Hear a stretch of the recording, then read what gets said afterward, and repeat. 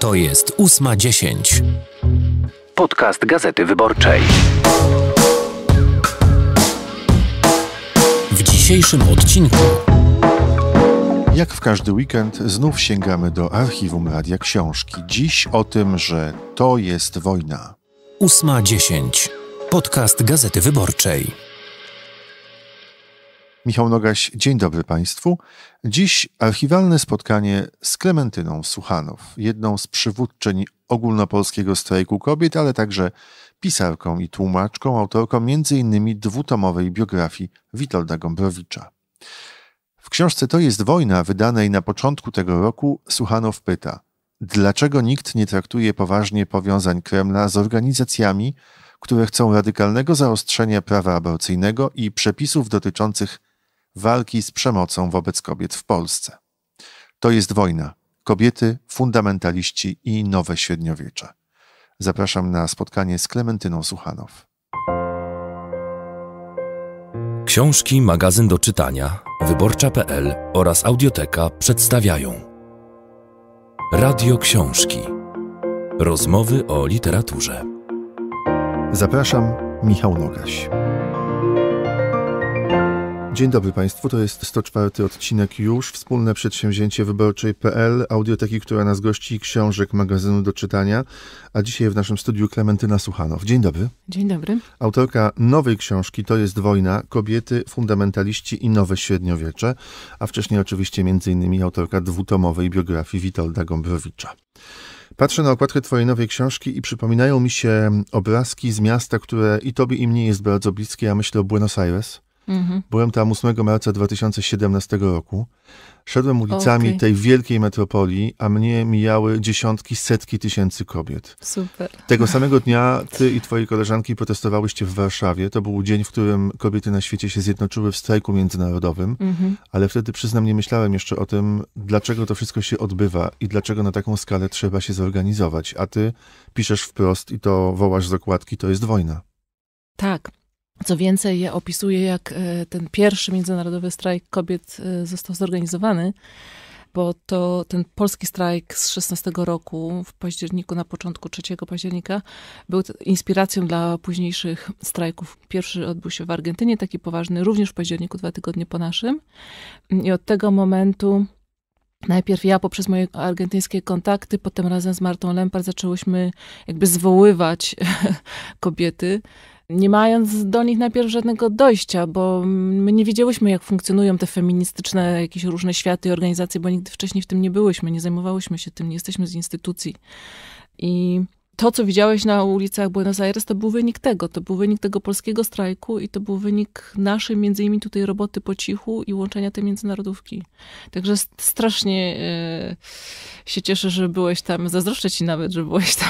No było to bardzo Wtedy. głośne. Robiło ogromne wrażenie. Zresztą spotykałem się wtedy z pisarkami argentyńskimi, Claudią Pineiro między Mhm. innymi. I one mówiły mi o tej wściekłości i o problemach, o tym, że w Argentynie codziennie giną kobiety w wyniku przemocy Tak. domowej, są gwałcone. Zresztą ty też o tym w swojej nowej Tak. książce piszesz, o przypadku dziewczyny, która została zgwałcona przez trzech mężczyzn przez kilka godzin kijem baseballowym. To są rzeczy, o Tak. których się nie chce słuchać i w które nie chce dać się wiary, a jednak e, mają miejsce wciąż na świecie. Zacząłem od tego wątku, bo chciałem w ogóle zapytać o to, dlaczego te strajki się narodziły? Co było impulsem, przyczyną? To właśnie trudno jest powiedzieć, e, jak się później patrzy na te momenty, co się takiego, albo na przykład powiedzieć, co wywołało rewolucję, nie? Są takie momenty, albo dlaczego nagle zabicie kogoś w Sarajewie doprowadziło do tego, do czego doprowadziło. To są takie jakieś iskry, które gdzieś się pojawiają, jakieś następuje przeciążenie czegoś. I tutaj zdecydowanie takie coś ma miejsce, co kobiety wyczuwały, natychmiast zaczęły czuć tak naprawdę od momentu, kiedy nastąpiła taka ostra fala takiego radykalnego, fundamentalistycznego podejścia do kwestii życia, praw. I ponieważ to kobiety są albo mniejszości seksualne, ale w tym przypadku rzeczywiście tak było w większości krajów, jak to analizuję, że oprócz może Rosji, gdzie nastąpiło to właśnie ta tak zwana prawo zakazujące tak zwanej propagandy homoseksualnej było pierwsze, zanim potem zabrano się za kobiety.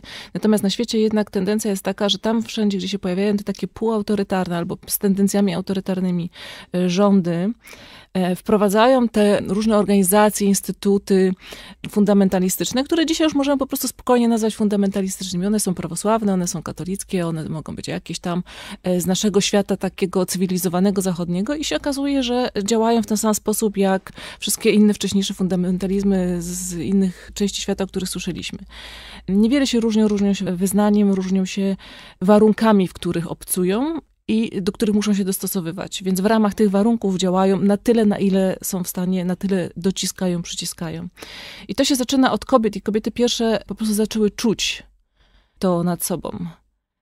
I stąd ten odzew, pierwszy taki masowy y, oraz wyciągnięcie tych wielu spraw, bo w momencie, kiedy w XXI wieku pojawiają się tacy panowie i zaczynają nam mówić, co mamy robić, jak mamy żyć, jak mamy tam y, swoje życie układać, planować, rozrodczość i tak dalej, to w XXI wieku kobieta nie jest w stanie y, czegoś takiego przyjąć. A, rzeczywiście macie rację, o, zapomniałam, zapomniałam, że moja babka, prababka walczyła o to i o tamto i rzeczywiście panowie, no tak, tak, to ja już teraz wracam, rzucam pracę i zajmuję się dziećmi tylko i rodziną i, i, będę teraz rodzić. Więc to jest szalony pomysł, żeby sprowadzić kobiety w tym momencie do czegoś takiego. Stąd nastąpiła też taka silna odpowiedź. To jest, to jest szaleństwo jakieś, fundamentalistyczne szaleństwo. To się zaczęło u nas od roku 2016 i od tak. próby zaostrzenia czegoś, co nazywane jest kompromisem aborcyjnym. Tak. Pamiętasz znaczy zaostrzenia.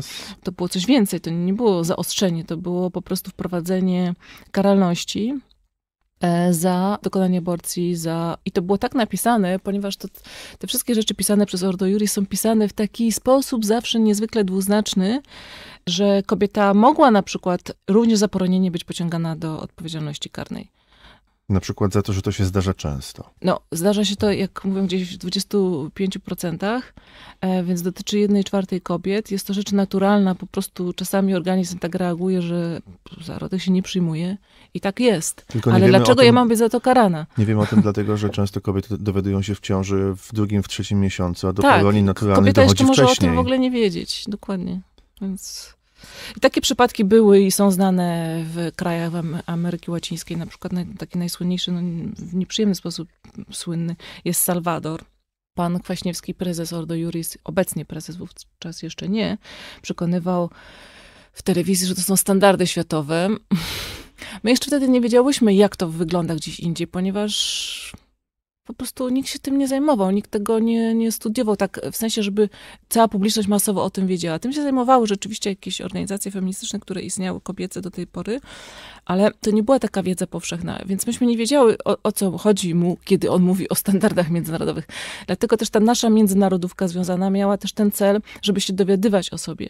Więc bardzo szybko, kiedy weszłyśmy w ten kontakt z Ameryką Łacińską, e, zaczęłyśmy się dowiadywać o tych koszmarach i te rzeczy wychodziły na tych wszystkich Facebookach, stronach i tak dalej. To po prostu była jak totalna lawina postów, e, komentarzy. Ja nawet jak przy pisaniu książki starałam się przez to przebić, przejść jeszcze, bo pewne rzeczy pamiętałam, ale potem się okazuje, że nawet moja własna pamięć, niby osoby wyczulone i wyszkolone do tego, żeby archiwizować, żeby śledzić, jak to się rozwija, jakieś procesy, i tak ona jest ułomna, to znaczy płata nam figle. My nie pamiętamy, nigdy nie jesteśmy w stanie tego zapamiętać. Pamiętamy jakoś też poprzez emocje.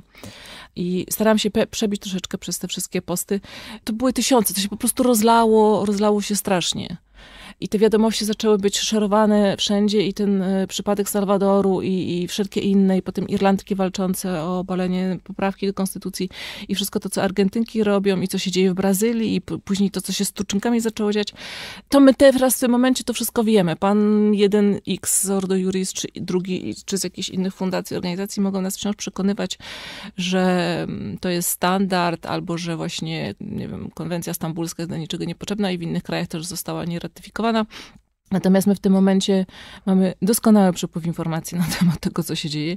Nie są w stanie nas oszukać i mamy natychmiastową możliwość dzielenia się tym poprzez te wszystkie fora, które w tym momencie już posiadamy od kilku lat. Także nie ma opcji, żeby ogłupiać Polki w tej mierze. A konwencja stambulska, co to jest?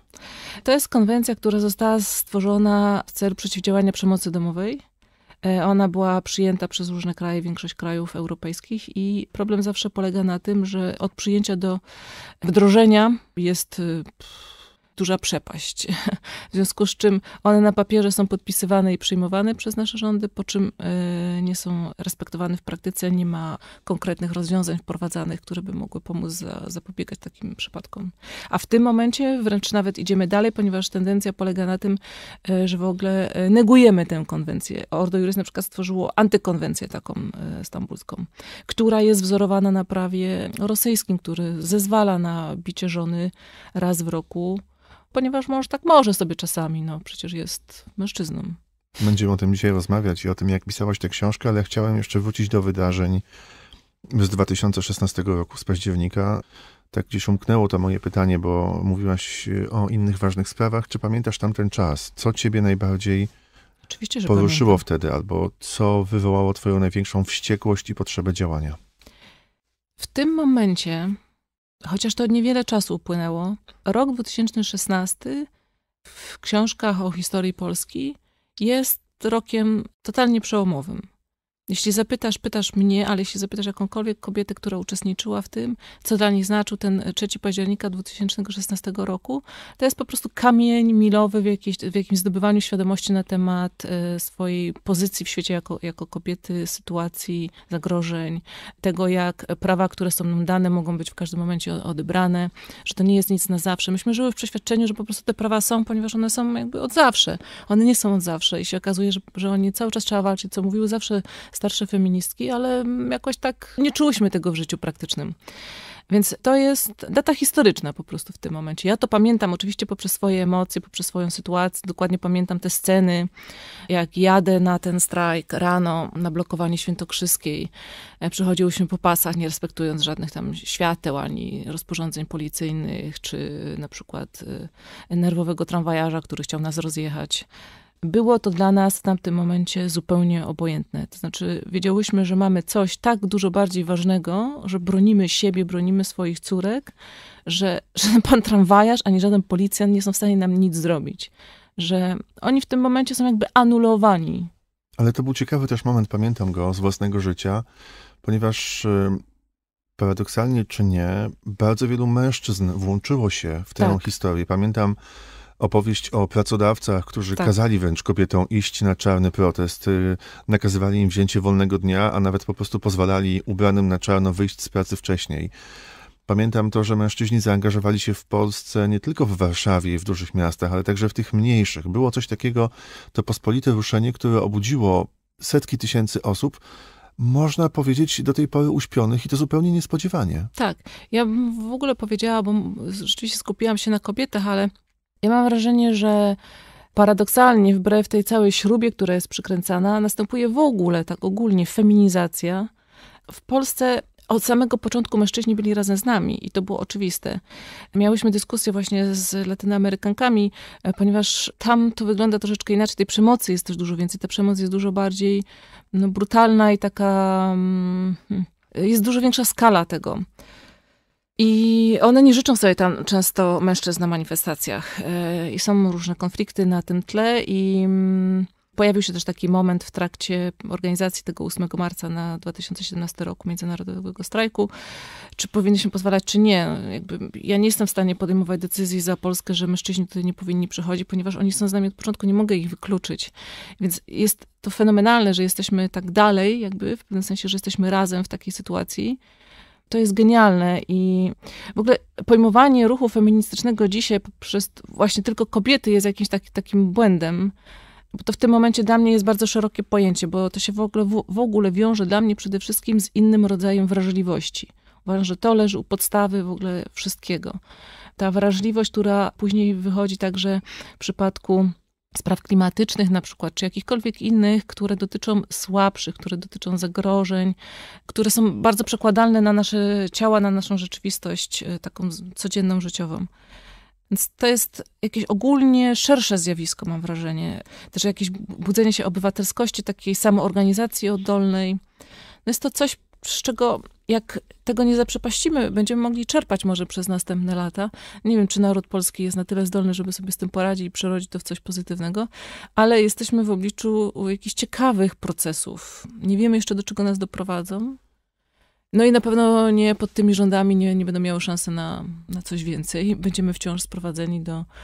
Ja będę wciąż kryminalistką i pseudo-półterrorystką, e, no i będziemy nazywane nadal feminazistkami. To jest ciekawe, o czym mówisz w kontekście tego budzenia się świadomości, bo moim zdaniem to wynika też z tego, że po prostu mężczyźni się zorientowali, że muszą walczyć o przyszłość swoich córek. No, żon, sióstr.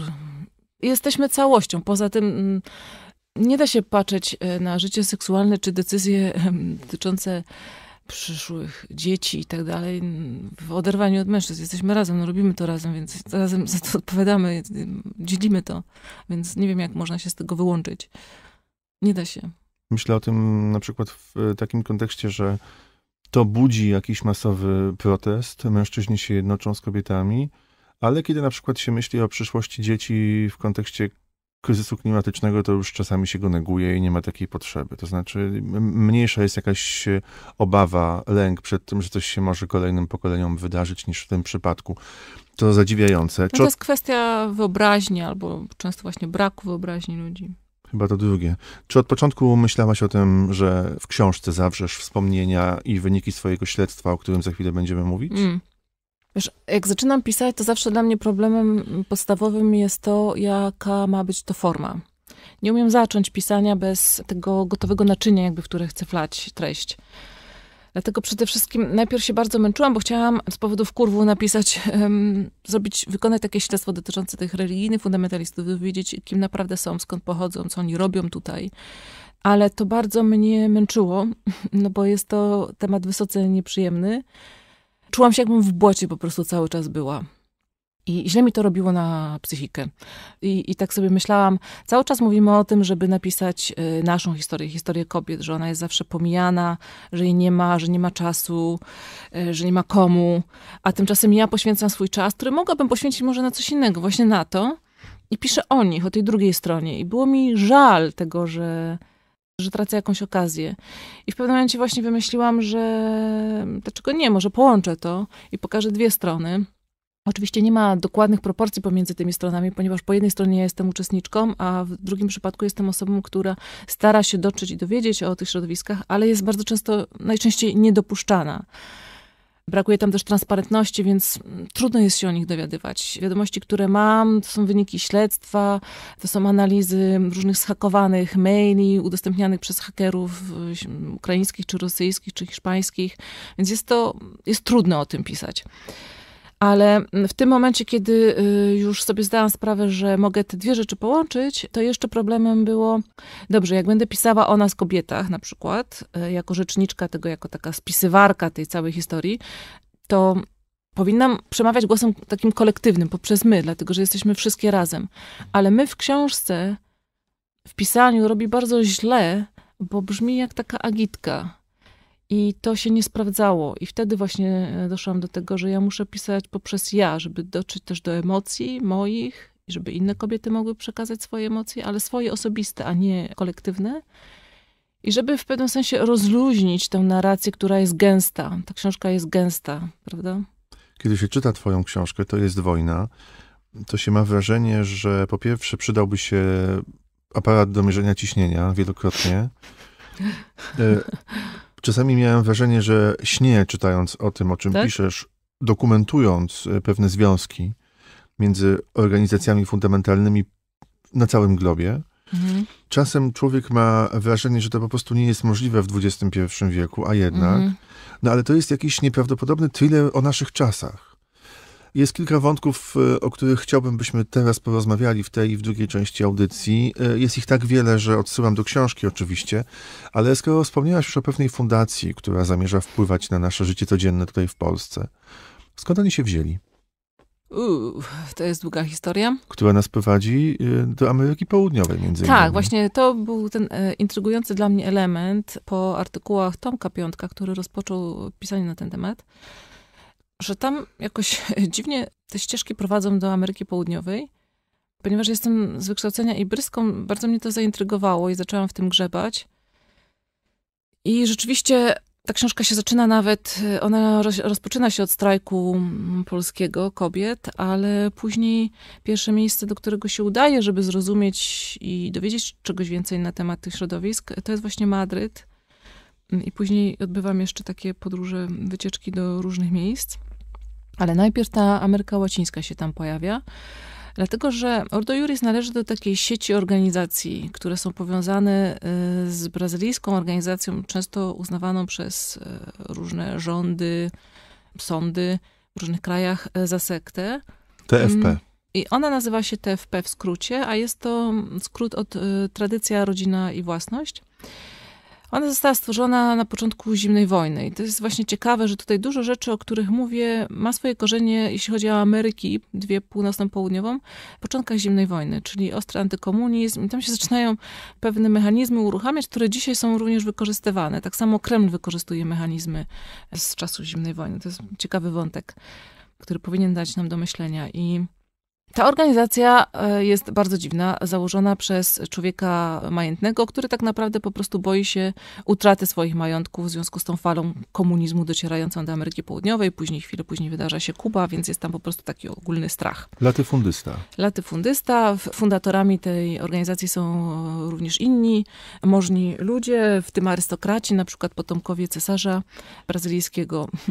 Jeszcze tacy żyją, istnieją i marzący właśnie o monarchii i negujący mm, reformy po drugim soborze w Watykanie, także tacy bardzo konserwatywni, a w tym swoim myśleniu Plinio Correa de Oliveira, właśnie ten założyciel, sięga aż do średniowiecza i to jest właśnie ten motyw, który pojawia się u nas cały czas. My czujemy, że coś się dzieje takiego, jakby ktoś nas chciał pchnąć w średniowiecze, a ten Plinio mówi o tym wyraźnie w swoich książkach, które się nazywają kontrrewolucją. On uważa, że powinna się dokonać taka kontrrewolucja w stosunku do rewolucji seksualnej, do rewolucji francuskiej, do oświecenia, na przykład do, do wieku rozumu, że powinna, że najlepszy model społeczeństwa to jest taki model hierarchiczny właśnie i e, monarchistyczny.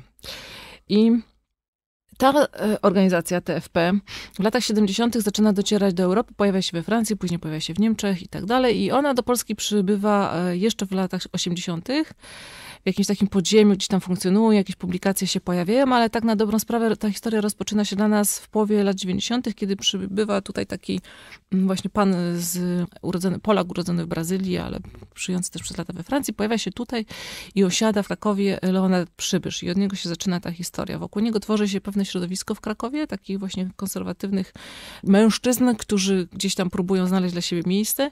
Jest to zupełny margines, e, nawet w środowisku takim konserwatywnym. E, nawet przez to środowisko są uznawani za śmiesznych, bo tam jest masa takich rytuałów niedzisiejszych. I oni pod koniec lat 90., na początku XXI wieku zaczynają zakładać właśnie stowarzyszenie, fundację, która później jakąś dekadę później założy właśnie Ordo Juris. Więc Ordo Juris wywodzi się z czegoś takiego dziwnego, jest założone przez tą filię brazylijskiej organizacji TFP, z tymi całymi dziwnymi historiami, bo tam jest jeszcze tego więcej, jakieś niewyjaśnione wątki takie homoseksualne związane z tymi wyznawcami Plinia, młodymi chłopcami, którzy opuszczają domy, żeby rodziny, szkoły uciekają, żeby się znaleźć w tej komunie takiej, bo oni wszyscy mieszkają tam razem, to są tylko i wyłącznie mężczyźni. I w Brazylii rzeczywiście tam było bardzo dużo młodych chłopców, 13, 14, 15-letnich. Więc to był taki, w Europie już nie kaptowano tak młodych, oscylują wokół studentów, żeby mieć już właśnie te, to bezpieczeństwo. Niemniej wciąż odbywa się taka indoktrynacja, pranie mózgów tych młodych mężczyzn, chłopców, którzy głównie z uniwersytetów, y, Uniwersytetu Warszawskiego, UKSW, KULU, głównie tam trafiają. Ale w tym momencie na przykład Ordo Juris otwiera swoje tak zwane akademie, działają również w Opolu, w Katowicach, więc to się rozprzestrzenia w tym momencie bardzo i i tam trafiają również dzisiaj właśnie młodzi chłopcy, kuszeni jakoś takim trochę blichtrem tego środowiska, które lubi e, żyć w luksusie. Znaczy z jednej strony to polskie TFP zarabia na biednych emerytkach, bo oni mają cały taki system zbierania pieniędzy poprzez y, wysyłki takie pocztowe, jakichś medalionów, jakichś tam małych publikacji o Maryi i tak dalej, ale później te pieniądze są wydawane właśnie na jakieś przyjęcia na zamkach. Jak to mówią osoby, które są blisko tego środowiska, rażąco luksusowe jest to życie. Czyli po pierwsze to nie jest fundacja zawieszona w próżni, tylko ma Nie. kontakty z całym światem, ze ma światem. kontakty ze światem i ma świetnie opanowane mechanizmy zarabiania pieniędzy, zbierania pieniędzy. No dobrze, ale jeszcze jest drugi wątek ważny, bo to, że oni istnieją, to jest A, ale B, przenikają do ośrodków władzy. Jak to się udaje? No mają już dobry model, e, który mm, się dobrze sprawdzał, Opus Dei, ale w tym momencie oni są, oni są dużo mniejszym środowiskiem. To jest właśnie ciekawe, że te środowiska, naprawdę jak się im przyjrzy, tych ludzi, którzy przenikają do władzy, to, to nie są duże.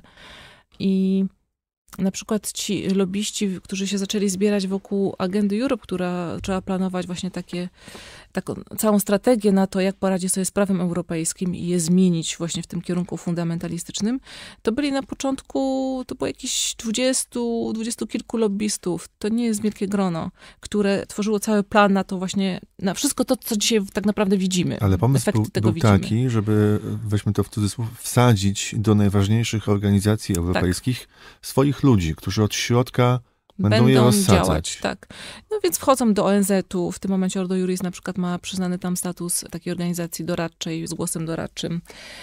Trafiają do wszystkich, e, starają się do wszystkich e, jakichś instytucji europejskich trafić, sądów. W Polsce mamy byłego prezesa Ordo Juris, który jest obecnie w Sądzie Najwyższym, pana Aleksandra Stępkowskiego, również profesora UW. Więc to się dzieje wszędzie. Oni się rozlewają w Chorwacji nawet przy ostatnich eurowyborach. Członek tych środowisk, taki właśnie TFP, startował również jako polityk z takiej partii podobnej do naszej Konfederacji. Także oni do tej pory starali się być w cieniu i wchodzić jako takie szare eminencje, natomiast jest jakiś taki zdecydowany ruch w ciągu ostatniego roku odbywający się nawet do bezpośredniego wchodzenia. To jest ciekawa zmiana, bo to jest naprawdę duży krok dalej. I ty pokazujesz w tej książce, że wiele pomysłów, projektów ustawodawczych, które w Polsce składano, na razie właściwie bezskutecznie, no to są kopie rozwiązań, które próbowano i być może wprowadzono nawet w różnych miejscach, chociażby w Rosji. Także to się nie dzieje nagle i przypadkowo. Nam się wydaje, że historia z pomysłem na to, żeby odróżnić konflikt od przemocy w prawie o przemocy w rodzinie i myśl taka, która się pojawiła przez chwilę w projekcie rządowym, że jak mąż raz pobije żonę, to jeszcze nie jest przemoc, tylko zdarzenie, po prostu konflikt i nie należy zakładać niebieskiej karty, że to jest wymysł nasz. Tymczasem to jest kopiowanie pewnych rzeczy i ma powiązania z tą fundacją. Ja powiem więcej, to nie jest tylko tak, że to jest inspiracja na przychodząca z różnych stron. To jest inspiracja przychodząca głównie z Rosji. I tutaj dotykamy wątku, który y, w kontekście polskim jest trudny do poruszania, ponieważ natychmiast się uruchamia u wszystkich mechanizm y, oskarżania o mm, teorie spiskowe. Tych przypadków jest za dużo, chociażby film y, Inwazja, który mieliśmy na chwilę przed wyborami. To jest też w zasadzie kopia filmu, który w Rosji już też chodził, pod tytułem Sodoma, po prostu pod innym tytułem. On, jest o tym mowa w książce, więc już nie będę się nad tym rozwodzić, ale to w niebezpieczny sposób, kiedy się zaczyna analizować dokładnie w różnych krajach pomysły, rozwiązania, które są e, wprowadzane, również w Stanach Zjednoczonych, pochodzą stamtąd. Jakby wylęgarnia tych pomysłów jest gdzieś tam na wschodzie. To jesteśmy w stanie prześledzić już, kiedy przyjrzymy się chronologii tych e, wydarzeń, chronologii tych pomysłów. Również na przykład później, kiedy studiujemy, kiedy studiuję i inni badacze, bo nie jestem sama na tym polu, y, od jakiegoś roku jest takie wzmożone, wzmożenie wśród dziennikarzy i badaczy, żeby za, zajmować się tym, bo zaczęliśmy, ludzie w różnych miejscach zaczęli łączyć pewne fakty, tylko nie wiedzieli, jak ta cała układanka w całości wygląda. Jakby, kiedy jest, mieszka się w Belgii, widzą, że coś w Belgii, że w Francji, że się łączy, ale nie wiedzą, jak to u nas jest. Potem się okazuje, że to u nas, że ten model cały jest, ten trzon jest taki sam, tylko ciągle coś krąży wokół właśnie, tylko dostosowują się do tych lokalnych warunków. Dlatego to różnie potem wygląda na przykład na poziomie legislacyjnym. Kiedy zaczynamy to studiować, kiedy zaczynamy się wymieniać tymi informacjami, to wszędzie, czy to przychodzi z Afryki, bo w tym momencie również w Afryce e, Czy z Korei bardzo ostro działają takie ruchy, czy z Korei Południowej na przykład. Ze Stanów Zjednoczonych to już z tego jest tam plaga, czy z Włoch. Ostatnio był tam, przez ostatni rok był wałkowany temat rozwodów, który u nas za chwilkę się pojawi, ponieważ Ordo Juris już obwieściło taką nowinę, że na przykład rozwodów można by zakazać. Więc to za chwilę będzie powtórzone w jakiejś kolejnej odsłonie. To wszystko e, w ramach studiów, takich małych analiz dokonywanych przez różnych badaczy, z którymi mam do czynienia, których czytam, których śledzę, prowadzi nas ciągle do Moskwy, na Kreml. To jest niesamowite, kiedy się czyta Twoją książkę, bo trzeba powiedzieć, że to jest, e, już to mówiłem, thriller, ale także efekt e, no, wielu miesięcy śledztwa i czytania przez Ciebie artykułów, podróży, przyglądania się różnym postaciom, które opisujesz.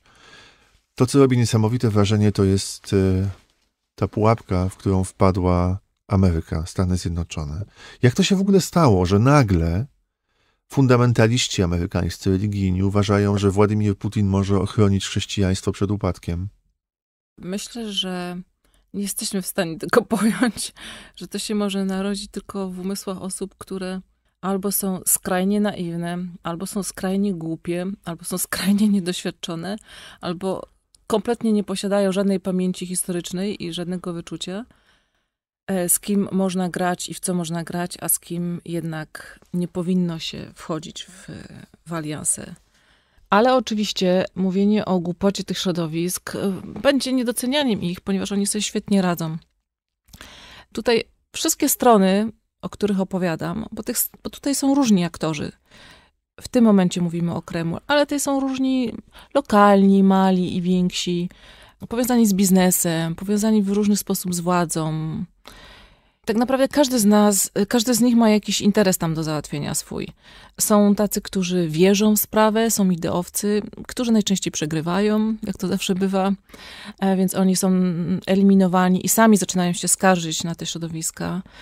I to jest coś bardzo ważnego, co powinniśmy zrozumieć, że te środowiska też nie są jednolite, tam są różne frakcje. I chyba jest naprawdę najwyższy czas, bo troszeczkę jak przeglądam takie komentarze, tak na świeżo po publikacji tej książki, pojawiają się takie komentarze, że a no wiadomo, że ja jestem po tej stronie, no to wiadomo, że widzę ich wszystkich jako wrogów i tak dalej. Jestem przekonana, że niebezpieczeństwo jest tutaj dużo większe, dlatego że to nie tylko dla mnie jest niebezpieczne, osoby, która w sposób otwarty jest po drugiej stronie, i ma zupełnie inne przekonania. Mam otwartą głowę i mi nie przeszkadza to, że ktoś inaczej żyje, ale to jest straszliwie niebezpieczne dla środowisk konserwatywnych tak naprawdę, bo oni zostaną skompromitowani na wiele lat poprzez to, co ci ludzie teraz i dzisiaj robią. Kiedy się kiedyś skończy PiS, a kiedyś się skończy, nie będą mieli takiego zielonego światła i nie będą mieli takiej możliwości przenikania do tych y, sfer władzy, a konserwatyści będą istnieć, bo muszą jakoś istnieć i będą chcieli mieć jakiś wpływ, będą po prostu, w, będą w pewnym sensie zdegradowani, skompromitowani przez środowiska. Ja uważam, że nie tylko my powinniśmy się bronić, ta strona, którą ja reprezentuję przed nimi, ale przede wszystkim konserwatyści powinni podnieść naprawdę larum po przeczytaniu tej książki i przede wszystkim oni też powinni przeczytać właśnie tę książkę, żeby zrozumieć, co tam się dzieje, z kim naprawdę mają do czynienia. Także mówię, są ideowcy, którzy, którzy będą przegrywani, są marginalizowani w tym ruchu. Są ludzie, którzy robią biznes przy tym, są tacy. Są e, przede wszystkim ludzie, którzy chcą władzy i są karierowicze. Ten polski przypadek ja uważam za zdecydowanie karierowiczowski i tyle. Nie będę więcej te, tego komentować, ale zdecydowanie w tym całym mechanizmie Amerykanie, którzy się pojawiają i nagle zaczynają chwalić Putina i to wszystko się zaczyna e, dziać w okolicach tego samego roku. Cała ta historia zaczyna się właśnie na przełomie 2012-2013 roku. Putin po raz trzeci dochodzi do władzy, wybuchają protesty w Moskwie, on się boi tej arabskiej wiosny, zaczyna się Ukraina, Euromajdan i wszystko zaczyna się, myślę, że to uruchamia całe domino tych rzeczy i wydarzeń, z którymi mamy do czynienia. To jest też moment, kiedy Trump wybiera się do Moskwy i kiedy jest zebrany na niego kompromat w hotelu, znaczy nagrano go z prostytutkami Kompromat to jest materiał, który kompromituje. Który ma kompromitować mhm. człowieka, tak. Takie narzędzie używane przez KGB służby przez lata, tak. przez lata, więc bardzo dobrze znane i świetnie sobie z nim tam radzą. Czyli mają na niego coś, co sprawi, mają że nie haka, może podskakiwać. tak zwanego po prostu, mhm. tak, że nie może podskakiwać te środowiska konserwatywne, takie skrajnie konserwatywne, zaczynają chwalić Putina na łamach tej swojej prasy, która jest wprawdzie niszowa, ale którą można dzisiaj czytać, to są też online i zdecydowany jest po prostu taki nagły sygnał. Oni widzą, że ten Putin który przy tej trzeciej prezydenturze obiera kierunek właśnie ku wartościom chrześcijańskim. Związek z cerkwią prawosławną staje się jeszcze bliższy.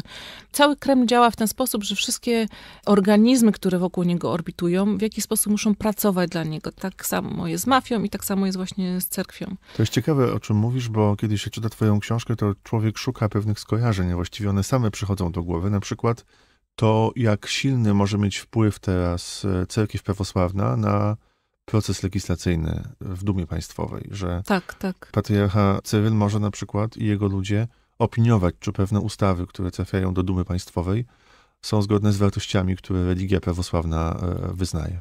Tak, tam się dzieją rzeczy niesamowite, ale co jest ciekawe i ważne dla naszej historii, e, to wizyta właśnie Cyryla w Polsce, która była wizytą historyczną, ponieważ głowa tamtejszego kościoła nigdy nie złożyła wizyty w Polsce. Mm, więc to było wydarzenie prawdziwie historyczne i tutaj był przyjęty jeszcze wówczas przez Komorowskiego i na Zamku Królewskim i z fanfarami i tak dalej. I wydawało się, że to jest taki niesamowity moment, niesamowite zbliżenie dwóch kościołów, takie ekumeniczne wciąż chyba myślenie temu towarzyszyło. A tak naprawdę to i Cyryl, mówiąc na przykład w wywiadach o tej wizycie, zastrzegał się, że nie jest to w żaden sposób y, wizyta polityczna, co należy czytać na odwrót, w lustrzanym odbiciu. To znaczy, to była totalnie e, polityczna wizyta. I, widać, jak po tej wizycie uruchomiły się też pewne mm, wydarzenia i na przykład słownictwo, bo tutaj bardzo dużo rzeczy się dzieje na poziomie języka, co widzimy, czujemy. Stąd zaczynają się pojawiać właśnie ideologie LGBT i e, różne zarazy i tak dalej, więc znaczy te zarazy przyszły później, ale tam mają korzenie pewne wyrażenia, które są, e, zaczynają być stosowane przez reprezentantów naszego episkopatu i później rozsiewane i podtrzymywany przez e, prasę i różnych tam publicystów e, blisko kościoła, bądź skrajnie jakiś tam nieodpowiedzialny. Bo to przede wszystkim, przede wszystkim to wszystko, co się dzieje, to jest e, dla mnie niezwykła nieodpowiedzialność. Nieodpowiedzialność kościoła, nieodpowiedzialność władz, nieodpowiedzialność ludzi z jakimś wizerunkiem, jakąś mocą publiczną jest wydawanie słów, które skazują kogoś zawsze i gdzieś kogoś ranią. Ale czy ty myślisz, to może że być oni, dziecko. Mhm. że oni w ogóle mają świadomość tego, że w jakimś sensie mogą być wykorzystywani, myślę o rządzących, przez organizacje, no właśnie, sterowane z ośrodków, które znajdują się, ja wiem, to brzmi jak teoria spiskowa, ale to w tej książce jest wszystko udokumentowane, więc y, no powiem to, sterowane ze środków, które są właśnie między innymi w Ameryce Południowej, gdzieś w pasie biblijnym w Ameryce czy Ja, ja w ci Rosji? od razu odpowiem, że jestem przekonana, że nie. Bo żeby poskładać to wszystko, mi to zajęło z jakieś dwa lata, żeby to zrozumieć. To się dzieje wszystko na gorąco. Jest trudno powiązać te fakty, bo to jest strasznie dynamiczne. Kto ma wiedzieć, znać jakiś kontekst brazylijski? Kto z naszych posłów, radnych, którzy przyjmują te niesławne karty rodzin oferowane przez Ordo Juris, a wykluczające ludzi, część społeczeństwa, kto wie o tym i studiuje jakieś tam mm, prawo wprowadzone w Rosji ileś lat temu. No, nie ma świadomości. Jesteśmy też pozostawieni troszeczkę e, sami sobie, dlatego że nie mamy porządnego dziennikarstwa w dzisiejszych czasach. Nie ma porządnego dziennikarstwa to pierwsze. Drugie, nie ma porządnego dziennikarstwa śledczego w związku z tym, bo to wymaga jeszcze większych nakładów. A nawet gdybyśmy jeszcze mieli dziennikarstwo śledcze polskie, to tutaj zdecydowanie jest potrzebne międzynarodowe, bo to jest po prostu siatka organizacji międzynarodowych y, ze sobą współpracujących ściśle. I tu pozostajemy jakby bezbronni. Więc ja się porwałam na coś takiego, żeby to poskładać i opisać i przekazałam to, aczkolwiek to są takie, to jest tak szybko się wszystko dziejące z dnia na dzień. Książce też to staram się jakoś oddać, żeby pokazać, jak to, jak to pędzi, że na przykład za miesiąc tam pewne rzeczy mogą się okazać nieaktualne albo już y, posunięte dużo dalej. Często, kiedy zaczęłyśmy się spotykać od 2016 roku z tymi pomysłami, to pamiętam te dyskusje na, na Facebooku, że to się wszystko wydawało niemożliwe. Najpierw, kiedy pojawił się ten pomysł o, o karaniu za aborcję czy za poronienie, to się wydawało poronione samo z siebie jako pomysł, ale potem pojawiło się takie, zakażecie teraz antykoncepcji. No, wtedy to się wydawało żartem. Dzisiaj wiemy, że oni jak najbardziej bardzo chętnie zakazaliby antykoncepcji. Kiedy dowiedziałam się o tym pomyśle darowania pobicia żony, na przykład kobiety, Przemoc plus. Przemoc, przemoc plus w Rosji, to czułam to kilka lat temu, czy jak powiedzmy jakieś trzy lata temu, czułam wyraźnie, że to jest taka granica, Naprawdę to czułam, że to jest granica nieprzekraczalna dla nas w Polsce, że to w Rosji się może być, może się może wydarzyć, natomiast w Polsce byłoby to niemożliwe. I chwilę później mieliśmy to w Polsce. To jest wszystko, to, to totalnie przekracza um, naszą wyobraźnię. Ja mam taką tezę swoją roboczą, jak, jak widzę osoby, które badają ten temat, czy we Francji, czy w Hiszpanii, czy, czy gdzieś w Ameryce Południowej, że tutaj nam właśnie nie, nie wystarcza być nawet tylko takim śledczym i dziennikarzem, tylko to są często osoby, to muszą być osoby chyba, które mają jakąś większą wyobraźnię, może dlatego ja właśnie pisarka się tym zajmuję, bo tak jak mówię cały czas, to przekracza e, ludzką wyobraźnię. I tutaj trzeba umieć otworzyć sobie jakieś drzwi na wszystko i przestać się zamykać po prostu w jakimś jednym pokoiku, bo tam naprawdę dzieją się rzeczy niewyobrażalne. My każdego dnia jesteśmy zaskakiwani kolejną jakąś niewyobrażalną wiadomością, jakimś pomysłem, który jeszcze chwilę temu wydawał nam się niemożliwy. A z twojej książki wynika, że na, naprawdę to jest możliwe, że Kreml wsadził swojego człowieka do gabinetu owalnego w Białym Domu. No, jeśli chodzi o to, jeśli chodzi o przypadek amerykański, no tam była cała komisja, która to zbadała. Jest cały raport na ten temat, chyba 400-stronicowy, więc tam są wszystkie świadkowie przesłuchani, świadectwa. To nie pozostawia wątpliwości w zasadzie ten raport. Podobnie w przypadku nawet Hiszpanii, kiedy pojawiły się jakieś przypuszczenia, że przy tych katalońskich wypadkach Pojawili się również Rosjanie, pojawili się, zostały tam jakieś ślady. Również powołano komisję do zbadania tego, chociaż to się wydawało totalnie niewyobrażalne. Mówisz I wciąż, o tej próbie niepodległości Katalonii. Tak, i tak? wciąż wydaje się niewyobrażalne, że Rosjanie mogli tam być, ale została zwołana komisja. Przez premiera sprawa została poważnie potraktowana i również te wyniki wskazują na to, że rzeczywiście tam była jakaś ingerencja rosyjska. Ona nie tłumaczy całości tych wydarzeń, natomiast pokazuje, że Rosjanie niekoniecznie muszą wszystko inspirować, ale doskonale potrafią też wykorzystywać sytuację. Także to nie zawsze dzieje się tak, że oni wszystko zorganizowali. A u nas była afera taśmowa na przykład, nie ma nic. Afera, która wskazuje na to, że rzeczywiście e, zakładanie podsłuchów, gdzie ta współpraca ze strony rosyjskiej była wyraźna. Nikt e, z rządzących się tym nie przejmuje ani no wiadomo, że obecnie spisu się nie przejmuje, ale powinny powstać jakieś inne komisje opozycyjne, które by, czy jakieś, nie wiem, no coś powinno się dziać. Natomiast nie dzieje się nic. Była też historia z botami wokół Andrzeja Dudy, ale została przedawniona i też nie mamy żadnego wyniku, żadnego śledztwa. I to tak naprawdę ta historia, którą opowiadam, jest jedną z tych historii, jest kolejną z tych historii. A sprawy z sądami dzisiaj? Sprawy z sądami to jest już wynik działania PiSu a jak działa PiS i jak bardzo on jest powiązany z jakimiś ciemnymi mocami na, za wschodnią granicą, to chyba trzeba będzie dużo więcej historyków, żeby to wszystko opisać.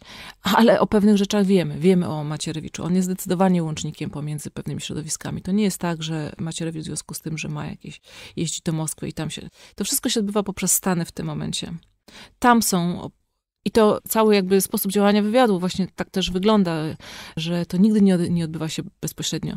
Jeśli chcemy kogoś uwiarygodnić, to wysyła się go poprzez Chorwację, poprzez Francję, przez Hiszpanię do Ameryki Łacińskiej. On zaczyna biznes w Urugwaju i z tego Urugwaju później przyjeżdża tutaj jako ktoś tam usankcjonowany, jako jakaś tam no, postać. Um, więc to się zawsze odbywa poprzez jakichś pośredników, poprzez jakieś zawirowania po drodze. I kontakty naszych polityków w rządzie i z partii rządzącej z pewnymi środowiskami usadowionymi w Stanach, tam się odbywają pewne rzeczy, dziwne rzeczy. Ale nie będę o tym więcej mówić, bo to jest jakby nie moja domena. E, są inne osoby, które to badają i wiem też, że za niedługo pojawi się kolejna książka bomba na te tematy, więc pewnie będzie jeszcze więcej o tym. No właśnie, bo tak kiedy cię słucham i kiedy państwo ciebie słuchają, to mogą pomyśleć, o Boże, przyprowadził do studia jakąś wariatkę, która wymyśla sobie różne tezy, hipotezy, wymyśla, łączy fakty, stworzy z tego nieprawdziwe teorie. Tymczasem tym, co naprawdę poraża, to jest liczba przypisów i bibliografia, to jak to wszystko jest y, Klementyna udokumentowane. To znaczy, to jeśli, nie są rzeczy wyssane z jeśli palca. Jeśli cierpliwy czytelnik będzie czytał tę książkę łącznie z tymi źródłami, które podaję, to może się zdarzyć, że czasami rozminiemy się lekko w jakiejś interpretacji na przykład czegoś. Bo to się może zdarzyć. Natomiast źródła i fakty, które tam są podane, nie da się ich zakwestionować. Są pewne, to są czasami wywiady, czasami są to, jak mówiłam, jakieś materiały hakerskie, czyli jakieś przecieki z e, maili, z jakichś e, dokumentów. E, czasami są to jakieś takie śledztwa insiderskie, takie prowokacje dziennikarskie przeprowadzane i z tych wyników tych prowokacji ja korzystam. Muszę po prostu dodać, że rzeczywiście dla zwykłego czytelnika to może być nieogarnialne, ale tak jak mówiłam, jestem iberyską i, i, i znam troszkę in, jeszcze innych języków, dlatego dla mnie jest to proste. Ja się po prostu poruszam w takim kontekście badań międzynarodowych, gdzie mogę sobie spokojnie korzystać ze źródeł rosyjskich, mogę korzystać sobie ze źródeł francuskich, pisanych po niderlandzku, jak i brazylijsku, po portugalsku i po argentyńsku i angielsku i, i to rzeczywiście, jak człowiek nie ma tej możliwości wczytania się w to wszystko, to to się wydaje absurdalne. Natomiast ja widzę tę całość, ponieważ z całej tej gromadzonej wiedzy w tych różnych rozproszonych miejscach jestem w stanie skorzystać. Dlatego w moim umyśle się to wszystko łączy, dlatego że ja mam dostęp, mam możliwość zrozumienia, przeczytania tego, a co więcej, mogę potem jeszcze jakoś dogłębniej rozmawiać z ludźmi. Więc na przykład wyprawiam się do Moskwy i rozmawiam tam, udaje mi się dotrzeć do jednego z ludzi, który jest taki uważany, uważany za takiego ambasadora tego ruchu i takiego, no jednego z takich ludzi Kremla, który działa pod jednym z oligarchów e, rosyjskich, Małofiejewem. No więc wszystkim sceptykom, cóż mogę powiedzieć, muszą się skonfrontować po prostu z tymi faktami, które opisuję. Jeśli wciąż pozostaje w nich jakieś ziarno niepewności, mogą prześledzić sobie e, te źródła i nic więcej nie jestem im w stanie powiedzieć. Nie mogę w konfrontacji z tym materiałem źródłowym tak, tak to wygląda, jak to opisuję. Ta książka jest też zapisem, o czym wspominałaś przed chwilą, Twoich wypraw dziennikarskich, śledczych nie tylko Moskwa, nie tylko Hiszpania. Mówisz o tym, że jest kryzys dziennikarstwa, z czym się zgadzam, i śledczego też się z tym zgadzam oczywiście. No ta książka też jest dowodem na to, ile ty musiałaś zainwestować prywatnie, żeby to powstało. Tak, to zawsze są właśnie takie historie, że nie ma warunków finansowych, żeby prowadzić tego typu przygody. I yy no nie było to łatwe, żeby to zorganizować. Było to wręcz karkołomne. Jeszcze tutaj po drodze miałam wypadek, który mnie przystopował na kilka miesięcy, związany też z wydarzeniami polskimi, czyli z jedną z interwencji policyjnych, których, którym uległam, co opisuję też, więc więc to było wszystko szalenie skomplikowane, ale, ale wiedziałam, że muszę to zrobić i że może jestem jedyną osobą, która jest w stanie to zrobić w tym momencie. Więc uparłam się jakoś to zrobiłam, ale już nie będę mówić o wszystkich szczegółach. Ale to prowadzi do pytania, które musi się pojawić, to znaczy pytania o strach, o lęk. Dlatego, że to jest opowieść o, o powiązaniach, o siatce ludzi, którzy próbują urządzać życie innym. Ty jesteś słynna z tego, zresztą piszesz o tym w książce, że jak cię wyrzucą drzwiami, to wejdziesz oknem. Jak ktoś ci odmawia spotkania w firmie, która jest rosyjską przykrywką w Berlinie, to wchodzisz, bo akurat ktoś wychodził z klatki, wchodzisz do na piąte piętro do siedziby tej firmy i czekasz, ktoś cię tam przepytuje, a ty cierpliwie liczysz na to, że szef tego miejsca się z tobą spotka i zadasz mu kilka niewygodnych pytań. Czyli wkładasz swoją stopę między te e, drzwi, które próbują się zamknąć. No i to oczywiście rodzi pytanie o bezpieczeństwo twoje własne, twoich najbliższych. Czy nie masz takiego z tyłu głowy lęku o to, że oto pokazujesz coś, co jest zamknięte, do czego nie ma dostępu i że mogą być konsekwencje? Przepraszam, że o to pytam, ale to się jakoś naturalnie pojawia. Nie no, osoby, które jakoś towarzyszyły mi przy tym pisaniu, wśród przyjaciół, bliskich, też pojawiały im się takie właśnie myśli w głowie, zwłaszcza kiedy jechałam do Moskwy.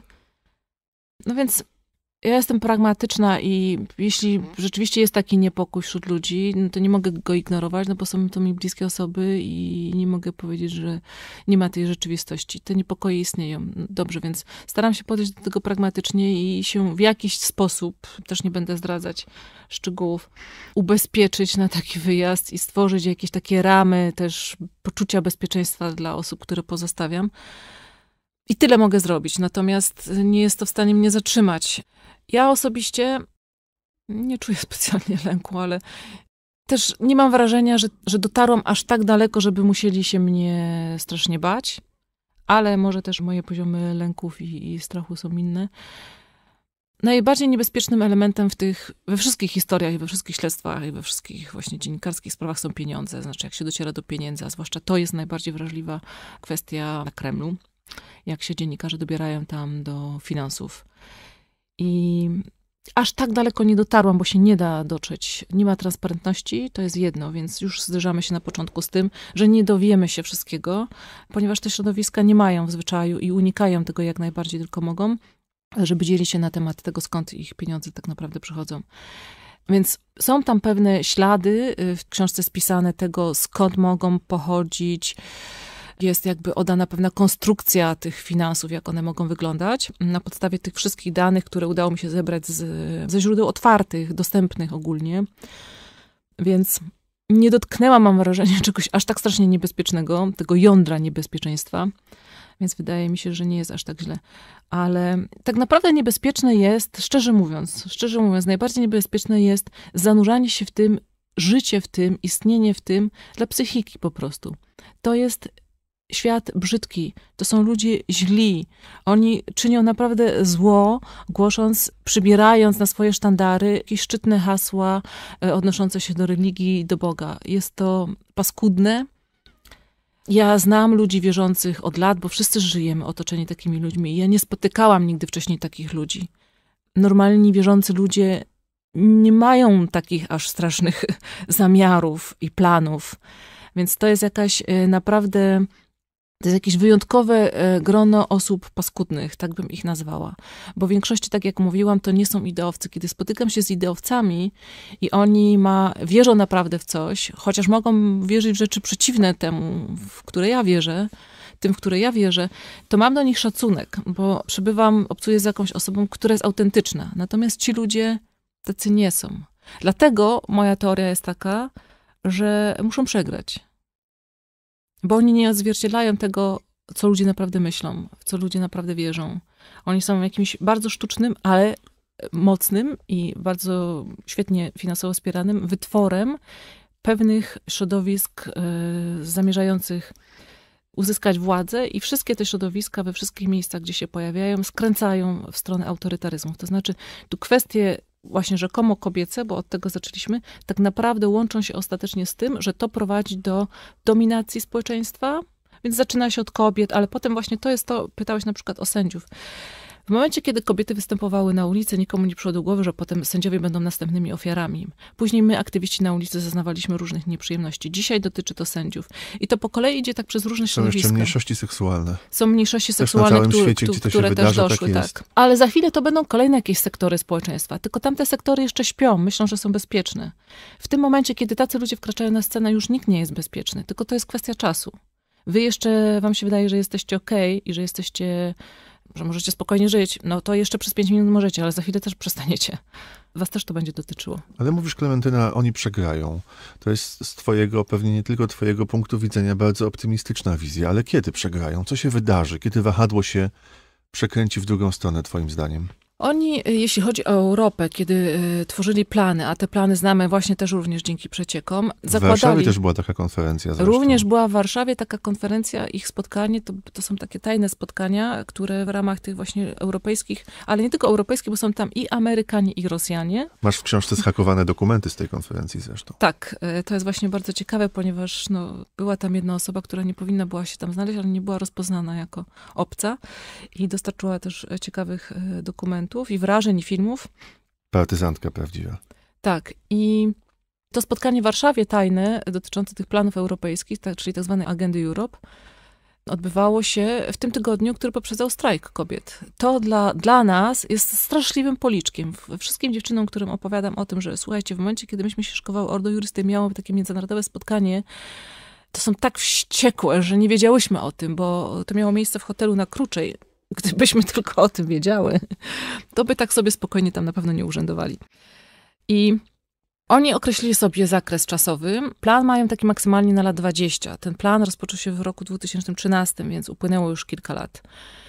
Co ciekawe, kiedy oni rozmawiają ze sobą, kiedy ja z nimi czasami, kiedy uda mi się rozmawiać, bądź na przykład występują publicznie w swoim gronie, oni uważają cały czas, że przegrywają, to jest bardzo ciekawe, ponieważ nam się wydaje, że my przegrywamy, a oni są tacy silni.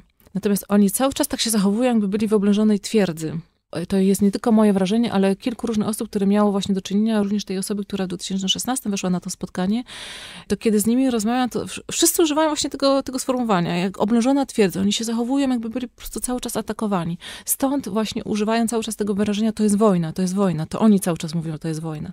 Ja użyłam tego jako cytatu tak naprawdę na tej, e, jako tytułu. Więc upłynęło, jesteśmy w roku 2020. Od 13 7. upłynęło lat 7. Ja uważam, znaczy w momencie, kiedy się tworzy jakieś strategie tych pierwszych lat, pięć pierwszych lat powinny być kluczowe. To powinien być pierwszy masowy atak, który powinien zmieść czytelnika, przeciwnika ze sceny, powalić go z nóg i później powoli konstruować swoją wizję. Natomiast im się rzeczywiście to nie udaje. Oni się ciągle potykają, próbują tu, próbują tam, odnoszą małe zwycięstwa w bitwach, natomiast ta wojna, jeśli spojrzeć na nią jak na wojnę, tak jak mówią, e, z takiego zupełnie wojskowego punktu widzenia, rzeczywiście po ich stronie wygląda na przegrywaną. Więc to nie jest tylko kwestia jakiejś mojej nadziei, bo ja nie jestem jakąś osobą wiary ani nadziei specjalnej. Ja raczej na podstawie tej ścisłej, zimnej analizy tego, co oni robią, gdzie są, co się dzieje po naszej stronie, chodzi mi o dynamikę, o prawdziwą jakąś werwę, o społeczeństwo, jak reaguje, o tą świadomość publiczną, jak się bardzo szybko zmienia w Polsce, bo ona się straszliwie zmieniła po strajku kobiet. Nastąpiły niezwykłe zmiany w społeczeństwie świadomościowe, które nie mają odzwierciedlenia wprawdzie politycznego, ale to nie znaczy, że ich nie ma. One są, tylko są ignorowane przez polityków. To uważam, że suma summarum my jesteśmy na tej drodze ku wygranej. Tak. Mhm. I wydaje mi się, że to będzie coś takiego, jak w Hiszpanii się wydarzyło, jeśli chodzi o Polskę po upadku, po śmierci Franco, po dyktaturze, że to społeczeństwo tak przyciskane właśnie religijne obróci się na drugą stronę i stanie się dużo bardziej postępowe. Oby to był los Polski. Czyli im bardziej nas przyciskacie, tym lepiej dla nas. I dzięki bardzo. Tak mówi Klementyna Suchanow, autorka książki To jest wojna, kobiety, fundamentaliści i nowe średniowiecze. Dzisiaj gościła w Radiu Książki. Dziękuję Ci bardzo. Dziękuję również. Do usłyszenia. Do widzenia. Radio Książki. Rozmowy o literaturze.